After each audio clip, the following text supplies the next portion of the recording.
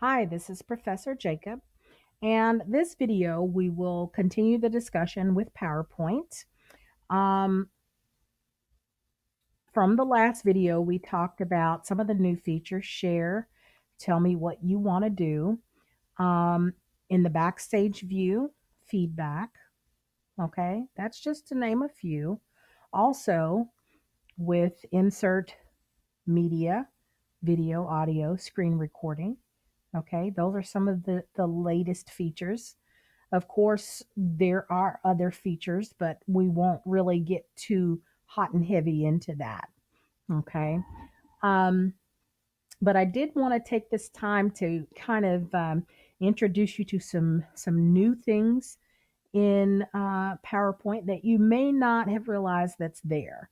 Okay, so you may detect um, on the slides pane here that you see different names and they're not actually on the slides. Okay, what that is, is I've added what are called sections. Okay, so say for instance, you're working with a team or a group of people on a project or a presentation.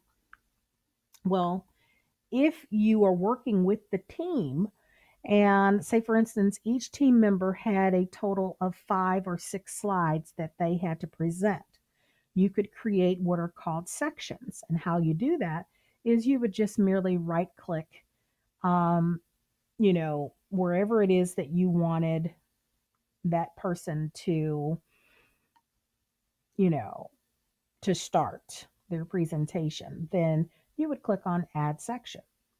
Or if you wanted to kind of organize how you would present the slides, okay, it would probably help you to transition while you're speaking um, during your presentation will you know say for instance if you're talking about um, the office suite of applications of course most people feel very comfortable with starting with word. So you could have different sections word processing spreadsheets um, then presentation then uh, databases. Okay, so you could have different sections. Um, you know, have it sectioned off to remind yourself what you're about to talk talk about. Okay, just by clicking on Add Section, and then rename a section, which will bring up the rename section dialog box, and you can begin to um,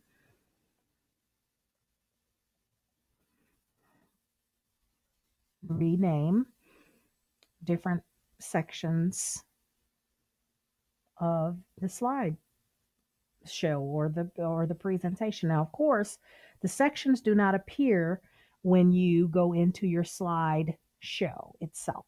Okay.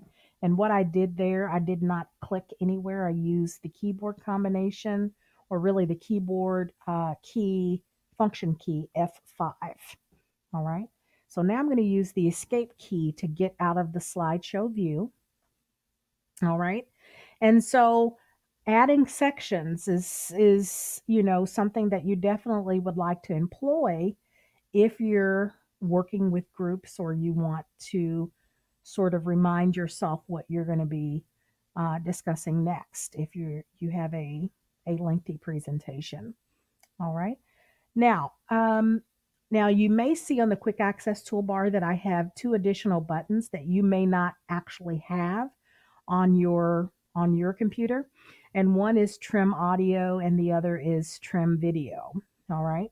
Now how I got those there, I selected that customized quick access toolbar button, which opens up that short menu and I selected more commands. Under choose commands from, I selected all commands and I moved down the list to the T's. Okay. And trim audio and trim video. Once I had those, I selected add and it put those over here where they would appear on the quick access toolbar. Okay. Um, so I, then I clicked OK and now they're there. Of course, they're not as white as I can tell with the undo or the save or the start from beginning uh, or, you know, the slideshow um, on the first slide. So those options that are shown in white are actually active and ready for me to use. Those that are in gray, I have not gotten there to be able to use those yet. So trim audio, trim video, I have to actually add, and I'm going to so I'm going to use the insert tab, which opens up the insert ribbon. And I'm going to move over here to the media group. All right. So I'm going to select audio, record audio, and I'm going to give it a name. Um, Professor Jacob Audio 1. This little button here is the only one that's available right now. Okay, that's for recording. Once I select this one, you will see the next one over uh, become active. This is the stop button. All right. And the next one over from that to the left is the play button. All right. So once I click that, OK, stop, and play should become available as well. And I'm just going to record like a 20 second video or audio, sorry. And once I do that, I'm going to click on the stop. All right. And then I'm going to go and I'm going to use the little trim audio feature that I just, the button that I put on the quick access toolbar. And it's also available somewhere else too. And we're going to take a look at that. Okay, so let's take a look.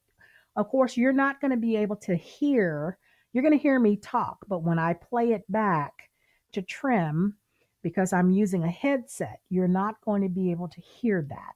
Okay, so just, just kind of notate that. It'll be very short, very quick. All right, here we go. This is Professor Jacob. This audio recording is about eight seconds before I really get into the discussion. And hopefully it will end at 20 seconds. Okay, so actually, when I clicked on the stop, that's when the play and the OK button became available. I think I misstated that earlier. Okay, so we know that the, the length of our audio was 20 seconds, and I could play it here if I wanted to, but I don't want to because you're not going to be able to hear it. All right, so I'm going to click OK here. Immediately, we see an icon, okay, that looks like a speaker. All right, and then below that, it gives me the ability to play that recording that I just recorded, and it gives me the time here as well. All right, of course, this is the volume. Um, so I could play it, but you it won't benefit you for, for, for you to hear me play it. Okay. So if you notice when when I finished recording on the quick access toolbar now, the trim audio button became active. All right. So I'm going to select it. So trim audio, and it gives the name of it here, and it tells us the duration of the audio. And so what I'm going to do now, I'm going to press play, and I'm going to give you a heads up before I do that. This little green air area here is basically um, my start trim button and this is my stop trim button. And what that means is I can select along this, this line or this length of the audio where I want to start the audio and where I want to end the audio. Okay, so we're at 21 seconds, but I'm going to cut it down to about five or six seconds. Okay, so I'm going to click on play. So I actually started talking about, let's see, one point. Well, let's go back just a little bit. It's saying this is Professor Jacob.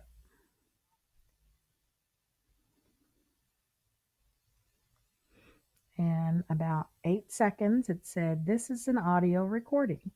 So I started it at 1.155 and I ended it at 8.587. So all of this over here, I'm not really concerned about that because only thing I wanted to hear what was in between these two, my start and my stop trim. Okay. So once I click OK, then my video is just going to be 7.432 seconds. All right, click OK. Now, how do I know that it saved that? Well, look at the time here when I click the play.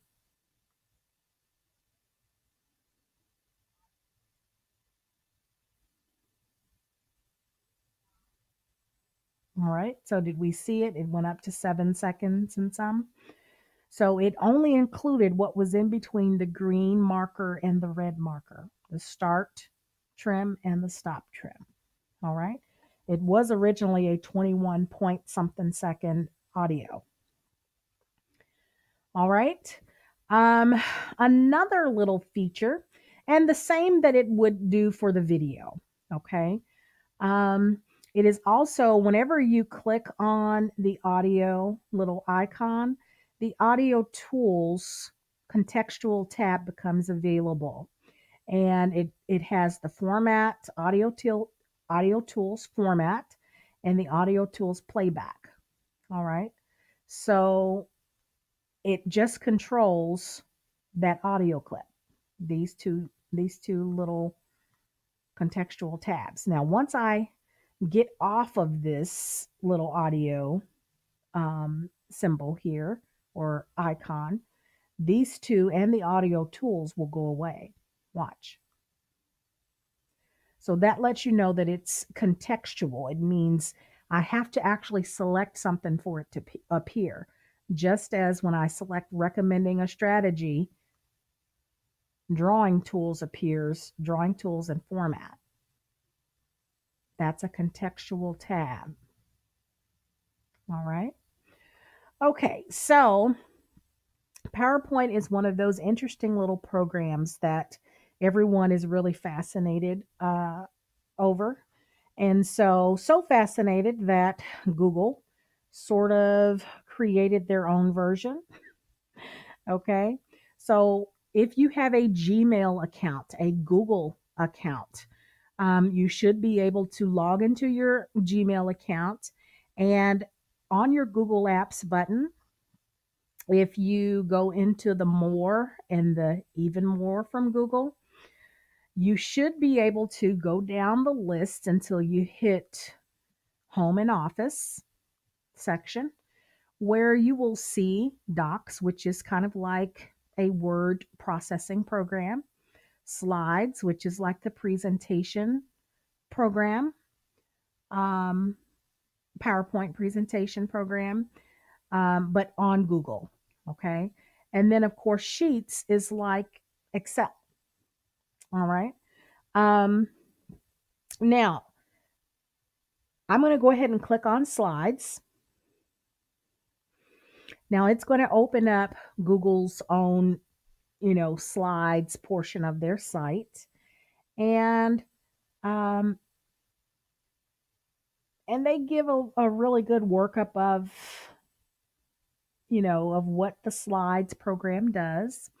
And it has templates as well just like powerpoint does okay? But the difference is it says get to your presentations anywhere and anytime okay so from your phone tablet computer wherever okay so um, you could download the app Okay. And I'm just going to move down the page here. And the biggest surprise is this works with PowerPoint. Okay. So you can, in effect, convert PowerPoint files to Google Slides and vice versa. So that's an interesting change. Um, but you can open, edit, or save Microsoft PowerPoint fi- files with the Google Chrome extension or app. Okay. And so, how do you turn on Google Chrome extensions? Okay, on your Customize and Control Google Chrome button here, you go under More Tools and then Extensions. And I just added it, but I have a lot of different extensions that I'm using. All right. Um, so you would just click on Get More Extensions, and it gives you kind of a gallery or Chrome Web Store where you can search again, query, um, the Chrome Web Store's database of um, apps. So I'm just going to do Slides app and then hit the enter key. And so here we see Office editing for docs, sheets, and slides. So not only can you view slides with the extension, but you can also view Word files, Excel files, and PowerPoint files, okay, with Google Docs, Sheets, and Slides. Okay, so an, an added feature there.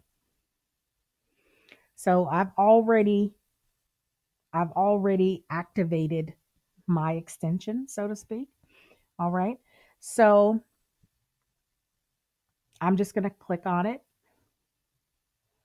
where you can get more information about it. Okay. View and edit Microsoft Word, Excel, and PowerPoint files without needing Office installed on your computer. So that's a really good feature to have. Okay.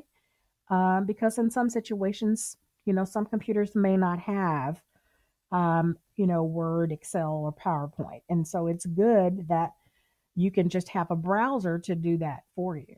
Okay. And so that's that's pretty awesome.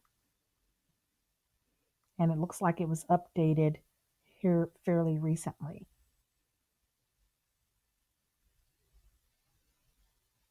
Okay, let's see what the reviews say. Fantastic alternative to uploading to Drive or paying for Office. Allows you to drag any of the six supported file types into an open Chrome browser window. Okay, so seems like folks are liking it. And then of course you get the ability to um, to rate the extension once you use it.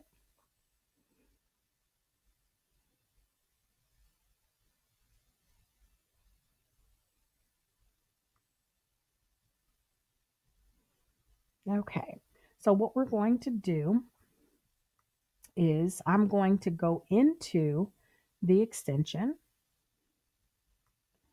and see if I can find it on my list. And there it goes. And it says it's enabled. Let's see.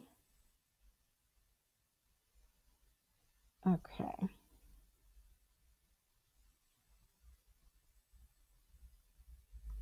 Okay.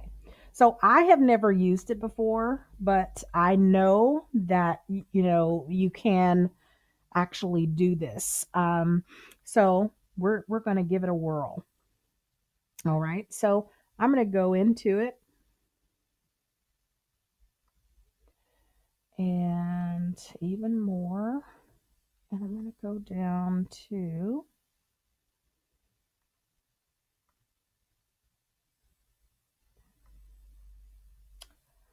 do the slides. Go to Google Slides.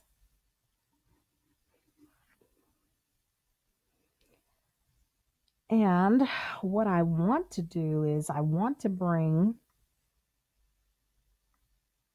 my Google slide or my PowerPoint slide right into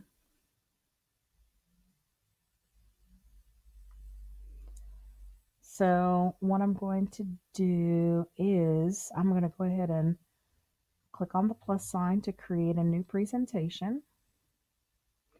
And let's see if we can import a slide. Let's try that.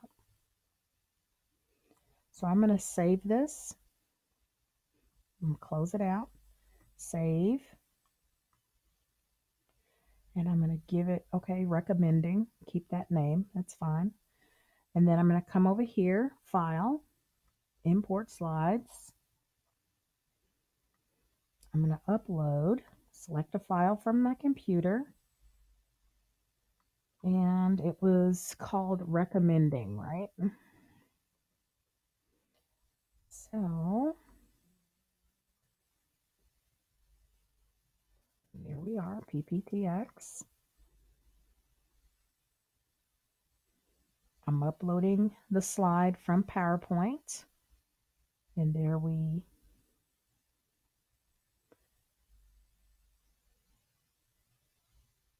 slide one. So what I'm going to do is I'm going to select each one, hold my shift key down, all seven, and then import slides. And let's see what happens. So I'm on the Google, I'm in Google, Google, uh, Google Docs, which is really Google Drive or Google Slides, okay? And so what we've added there's our sound. Okay. There's our theme and all of our slides. Of course, the sections didn't come over, but that's okay. And then, of course, they have their own themes. So I would encourage you to, you know, get on here and play with it. There's your F5 or control F5 to start the presentation.